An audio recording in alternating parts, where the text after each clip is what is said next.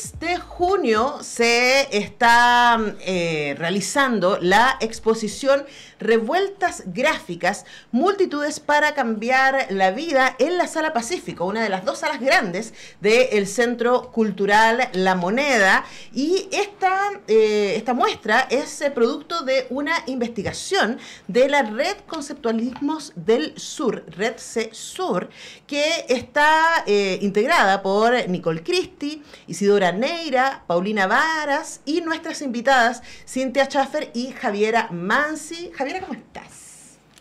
Hola Antonella, em, buenos días, muchas gracias por la invitación, estamos muy contentas de, venir a hablar de la exposición. Sí, tenemos hartas cosas que contar, yo voy a acercarte un poco el micrófono para que todos te escuchemos bien y también estamos con Cintia Schaffer, ¿cómo estás Cintia? Bien, muchas gracias por traernos acá Antonella y poder conversar un poco más sobre la exposición Revueltas Gráficas. Sí, esta es una entrevista que la teníamos agendada hace rato, ¿cierto? Yo como había estado fuera, pero ahora estamos aquí full porque quedan dos semanas y un montón de actividades a las que los queremos y las queremos invitar. Ahora, quiero partir preguntándote, Javiera, respecto a la red Conceptualismos del Sur.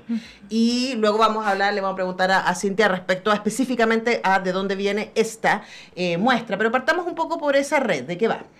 Sí, la red CESUR em, está integrada por activistas, artistas, investigadoras e investigadoras de toda América Latina y que venimos trabajando pensando en los distintos cruces entre arte, política, desde los años 70 a la actualidad. Entonces, es un espacio donde hemos ido eh, articulando maneras de investigar, de aproximarnos a los archivos de arte, archivos de movimientos sociales y, de pensar juntas, juntas, cómo activar estas memorias, ¿no? De cómo ponerlas a disposición, en acceso, pero también ir conectando cosas que a ratos parecen lejanas, pero tienen mucha relación de, distintos países, de distintas prácticas, de resistencias durante la dictadura, de luchas y subversiones más eh, contemporáneas.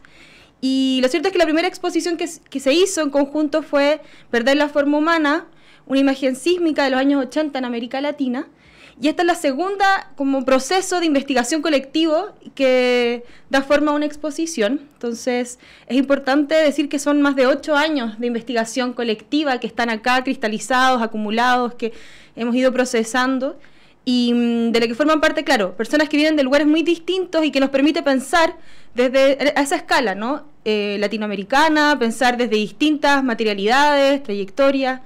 Y, es uno de los objetivos también de la red, ¿no? De cómo politizamos estas experiencias, de cómo las ponemos en acceso, de cómo las acercamos también al presente. Bueno, hay hartos desafíos ahí. Eh, y de hecho, frente a, la propuesta misma, a mí se me ocurren dos entradas posibles. Una que es la entrada material y otra que es la entrada, eh, uno podría decir, eh, teórica respecto a esto, ¿no? Primero vamos con la material que yo creo que es más accesible, porque aquí estamos hablando de la exposición Revueltas Gráficas, Multitudes para Cambiar la Vida, que está levantando distintas técnicas pero no solamente estamos hablando de afiches, que inmediatamente es lo que uno se imagina con la idea de lo gráfico, ¿no? Sino que ustedes también están trabajando con eh, reproducción análoga, panfletos clandestinos, fanzines, arpilleras, pañoletas, pavimentos intervenidos, lienzos y banderas. Hablemos de esa escogencia por em, abrir lo que entendemos por gráfica y materialidad. Sí, yo creo que esa ha sido una de las reflexiones más profundas que se han hecho desde el inicio incluso, ¿no? Como desde los, las exposiciones que vinieron antes de Revueltas Gráficas, desde el giro gráfico en adelante y esta exposición que se materializa, como dice Javiera, luego de ocho años en España y en México y que luego empieza como a caminar ¿no? por el continente en esta deriva a propósito de, también de su inauguración y, de toda la efervescencia que provocó a los 50 años del golpe en Uruguay y ahora en, este territorio, en Chile, ¿no?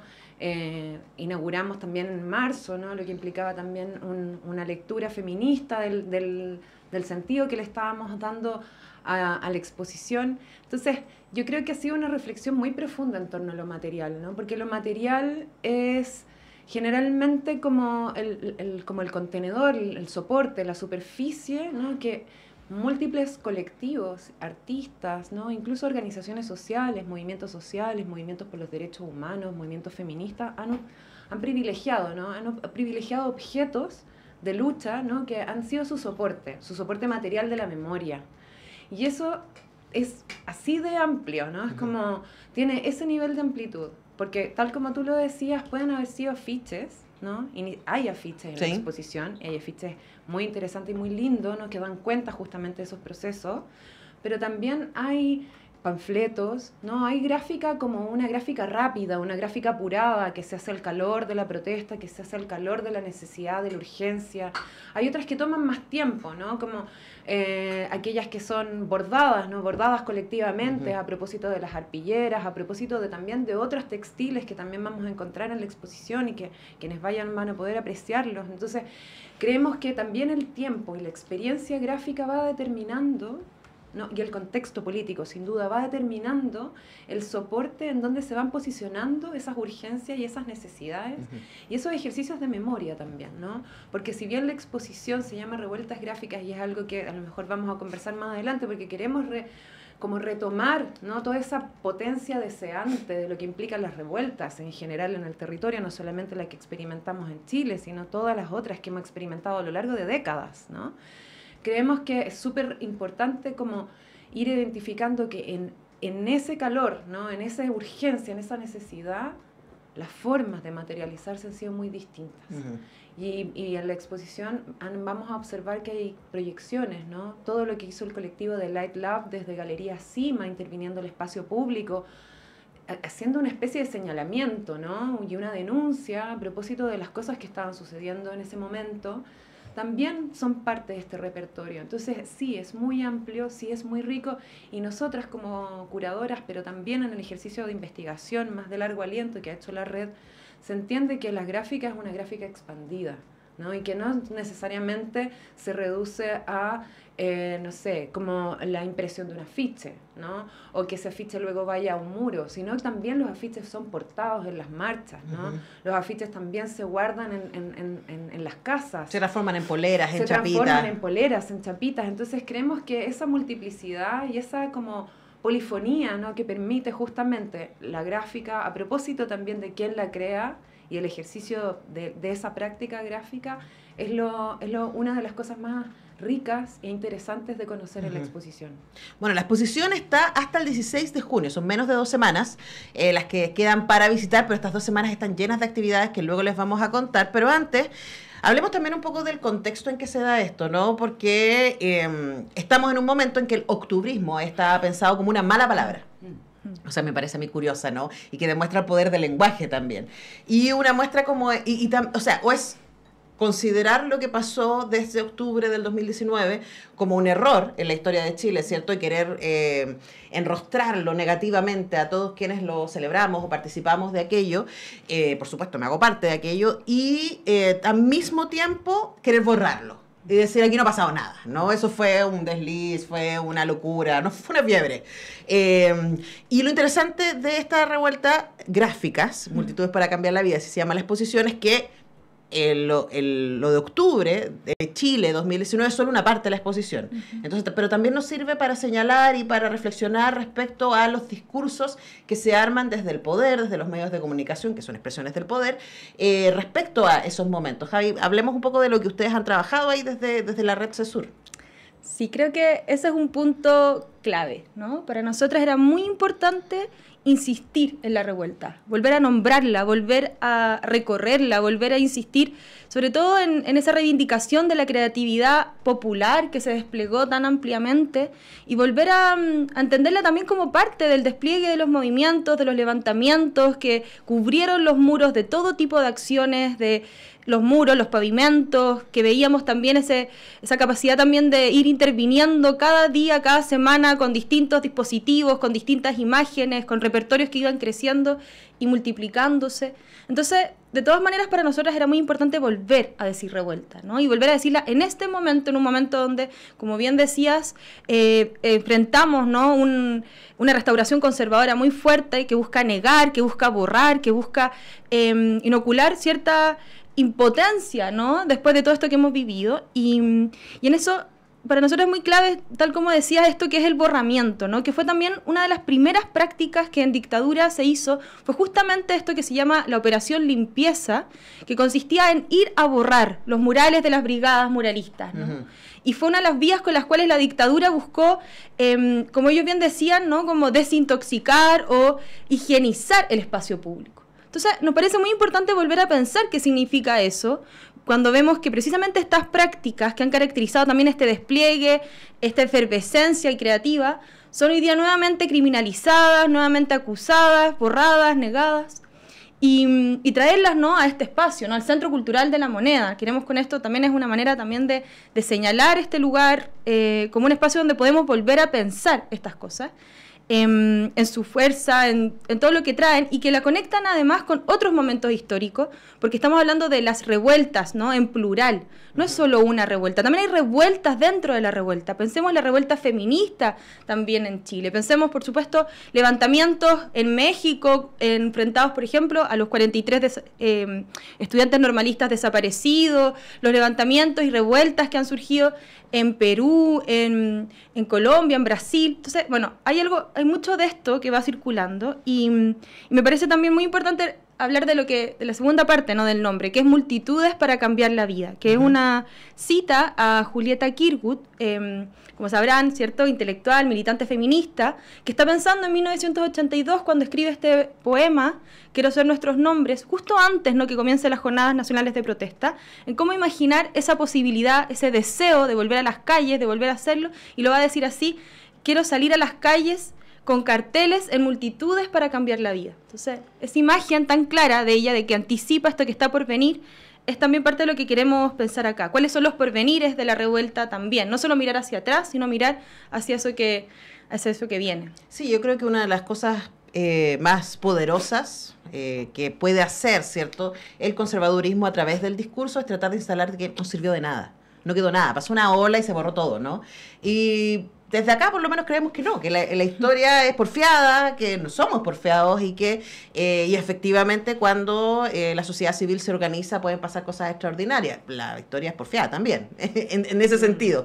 Estamos conversando con Javier Amansi y Cintia Schaffer, que junto a Nicole Christi, Isidora Neira y Paulina Varas fueron el equipo de investigadoras que hicieron la curaduría de revueltas gráficas Multitudes para Cambiar la Vida, que está en el Centro Cultural La Moneda. Hasta el 16 de junio se puede visitar de martes a domingo de 10 a 19 horas. Saludamos, por supuesto, a Regina Rodríguez y a todo el equipo del Centro Cultural La Moneda, que también tomaron una decisión política, curadorial, también al recibir esta muestra que nos parece que vale la pena aplaudir, porque no es cualquier lugar el Centro Cultural La Moneda, el que está recibiendo esto, que pues si alguien no lo sabe, no depende de, la moneda, de la Casa de Gobierno, sino que es un centro cultural, eh, que es una eh, organización colaboradora del Estado a través del, Ministerio de la Cultura, las Artes y el Patrimonio.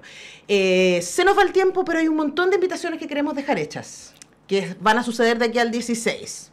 Javi. Sí, varias invitaciones. Bueno, por supuesto a ir a la exposición, quedan dos semanas, va a estar hasta el 16 de junio. Sepan que los días domingos es gratuito, así que ojalá puedan eh, ir a visitarla, excepto este domingo que va a estar cerrada por elecciones.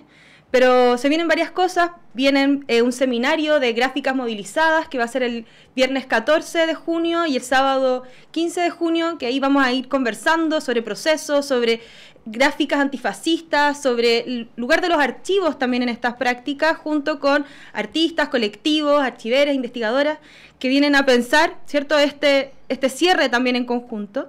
Eh, les invitamos también al taller que se va a realizar en el Centro Cultural de la Moneda por el colectivo Acción Silográfica José Domingo Gómez Rojas, un colectivo actual que viene eh, reponiendo el oficio de la silografía y llevándolo a las calles, así que ahí vamos a estar con un hermoso taller de silografía y también, bueno, el día sábado con la Javi. Este sábado. Este sábado a las 17 horas vamos a estar eh, haciendo una visita guiada. Una visita ya, una de las últimas visitas guiadas que ya estamos planificando, no nos quedan muchas fechas más, eh, en donde vamos a poder contar sobre los procesos de la exposición, los procesos curatoriales, profundizar en cada uno de los nodos, hablar acerca de algunas obras. Y también, en el marco de la exposición, nos visita un colectivo desde México y España que se llama Red Retro, eh, Sistema Onírico. Eh, no me acuerdo bien el nombre, Javi, pero vamos a estar haciendo un taller en el Instituto de Estudios Avanzados del USACH. acá a la vueltecita en Roman Díaz 89. Eh, la invitación está abierta, es un taller abierto para conocer un poco los procedimientos que hay detrás de la creación gráfica y artística de este colectivo. Bueno, hay hartas cosas que van a pasar hasta el 16 de junio. La entrada es liberada para niños menores de 12 años, personas mayores de 60 años y para cualquier persona que vaya martes y domingo. Mm. Si usted no va martes o domingo, va otro de los días. Eh, la entrada general para la exposición es 3 mil pesos, pero incluye ver también la exposición Arte Joven, eh, premio municipal, que en su versión 24 tiene ahí la exposición hermosa. A mí me, parece hermoso que esté ahí en el Centro Cultural La Moneda en este momento esas dos exposiciones dialogando, además. Eh, así que solo hasta el 16 de junio aprovechen, esto está desde marzo, eh, pero nos parecía importante darle ahí como el último empujón para estos eh, días que quedan. Agradecemos muchísimo a Javier Amansi y a Cintia Schaffer, parte del equipo de investigación y curaduría de esta muestra Revueltas Gráficas, Multitudes para Cambiar la Vida Muchas gracias, Javi. Muchas gracias por la invitación. Solo un breve homenaje también. En esta muestra participa con obras Guillermo Núñez, que como sabrán es un artista eh, Premio Nacional de Artes Visuales, que murió hace muy poquito y para él toda nuestra admiración. Eh, hay serigrafías y obras suyas que nos parece también muy importante volver a, nombrarlo y que sea un lugar donde convive también con cosas tan recientes, como decíamos, con la biblioteca queer, con acciones que están... Eh, marcando también esa contingencia y esos cruces pesados y presentes. bueno, súper importante. Eh, última invitación, Cintia.